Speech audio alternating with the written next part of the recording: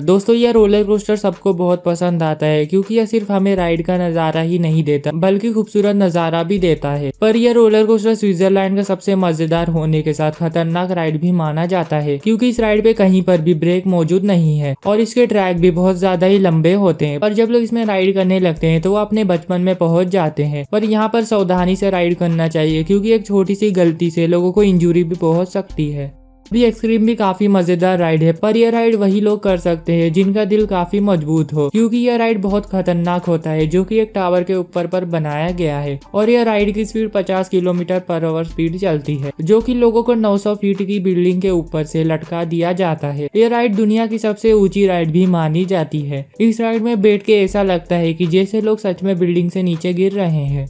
दोस्तों यह roller coaster देखिए, जो कि जंगल के बीच में बनाया गया है और इसके ट्रैक्स भी काफ़ी ज़्यादा ट्विस्टी और टर्न्स के हैं, जिसमें जंगल को पार करके रोलर कोस्टर को गुफा के अंदर लेके जाया जाता है। गुफा के अंदर जाते वक्त रोलर कोस्टर की स्पीड कम हो जाती है और फिर गुफा के अंदर से बाहर निकलकर पहाड़ के बीच में आ जाते हैं, जो की लोगों को यहाँ से काफ़ी ज़्यादा खूबसूरत नज़ारा दिखने को मिलता है। पहाड़ों के बाद अचानक ही कोस्टर की स्पीड बढ़ाकर और एक गुफा के अंदर ले जाया जाता है और जैसे ही गुफा के अंदर से बाहर आते हैं तो टूटे हुए ट्रैक के पास जाकर रोलर कोस्टर को रोक दिया जाता है, जिसे सब काफ़ी डर जाते हैं। वहाँ का नज़ारा भी काफ़ी डरावना होता है। लोगों का डर खत्म नहीं होता कि कोस्टर को वापस फिर से पीछे की तरफ़ स्पीड में चलाया जाता है और फिर से लोग गुफा के अंदर चले जाते हैं, जहाँ पर गुफा के अंदर मॉन्स्टर के प्रोजेक्टर को दिखाया जाता है, जिससे डर और ज़्यादा बढ़ जाता है। यहाँ पर यह मॉन्स्टर रोलर कोस्टर ट्रैक्स को तोड़ता हुआ दिखाई दे रहा है और अंदर गुफा से बाहर निकलते ही बहुत स्पीड से वापस जंगलों के बीच में से कोस्टर को चलाया जाता है और उसी स्पीड में काफ़ी अंदर गुफा को पार किया जाता है। ये रोलर कोस्टर आप लोगों को बहुत मज़ेदार लगेगा।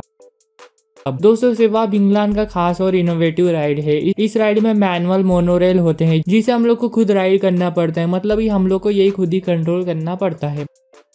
लेकिन ये राइड के लिए मस्कुलर स्ट्रेंथ भी होना काफ़ी ज़रूरी है। इन कैप्सूल की टॉप स्पीड 45 किलोमीटर तक जा सकती है। अब इस वीडियो को देखिए, यहाँ पर केज के अंदर लोग मौजूद है और ये लोग केज के अंदर इसलिए थे क्योंकि वो पानी के अंदर शार को देखने गए थे। लेकिन तभी यह केज के पास एक शार्क आकर इसे तोड़ने की कोशिश करने लगता है। यह सब सच में काफ़ी ज़्यादा खतरनाक अनुभव था और जो लोग केज के अंदर थे वह सच में काफ़ी ज़्यादा डर भी गए थे। लेकिन केज काफ़ी ज़्यादा मज़बूत था, इसलिए शार कुछ भी नहीं कर पाया। बहुत बार कोशिश करने के बाद भी ये शार्क केज को तोड़ नहीं पाया, इसलिए वह वहाँ से वापस चले जाता है। आप लोग कभी ऐसे रेस्टोरेंट में गए हैं जो समुद्र के लहरों के ऊपर हो? दोस्तों यह रेस्टोरेंट दुबई में मौजूद है। यहाँ पे लोग लहरों के ऊपर बैठकर डिनर कर सकते हैं। ये लहरें असली नहीं, बल्कि इसे ग्राफिक से बनाया गया है और इसका फील असली आने के लिए टेबल और चेयर को भी ट्रांसपेरेंट बना दिया गया है। तो दोस्तों, अभी अनोखे स्लाइड को देखिए, जो की जिग्जैक शेप में बनाया गया है और इस स्लाइड में पानी का बहाव भी काफ़ी तेज होता है, जो की जो की स्लाइड में जाने के लिए लोगों को पहले या इंडोर के स्टेप से चढ़ने पड़ते हैं और ये सीढ़ियाँ चढ़ने के बाद लोग अपना स्लाइड इस पानी के बहाव के पास से शुरू करते हैं। और यहाँ पर पानी का बहाव इतना तेज होता है कि इसी की वजह से लोग इस जिग स्लाइड में आसानी से स्लाइड कर लेते हैं, जो कि ये स्लाइड एंडिंग करते समय लोग पूरा पानी के अंदर चले जाते हैं। दोस्तों, अब यह जिप वर्ल्ड है, जो कि दुनिया का खतरनाक राइड मानी जाती है। सिर्फ़ ऊंचाई ही नहीं, बल्कि इसकी लंबाई भी काफ़ी ज़्यादा है, जो कि पूरे 150 किलोमीटर है। ये राइड करने के लिए पहले आपको सेफ्टी बेल्ट पहनाया जाता है। उसके बाद आप लोगों के साथ रिलीज़ कर दिया जाता है, जो कि आप लोग सुपर स्पीड के साथ ऐसे आगे बढ़ते रहते हैं। वो भी पहाड़ों के ऊपर से। तो दोस्तों, आज के लिए बस इतना ही रखते हैं। अगर आपको यह वीडियो पसंद आई है तो इसे लाइक शेयर और सब्सक्राइब ज़रूर कर देना।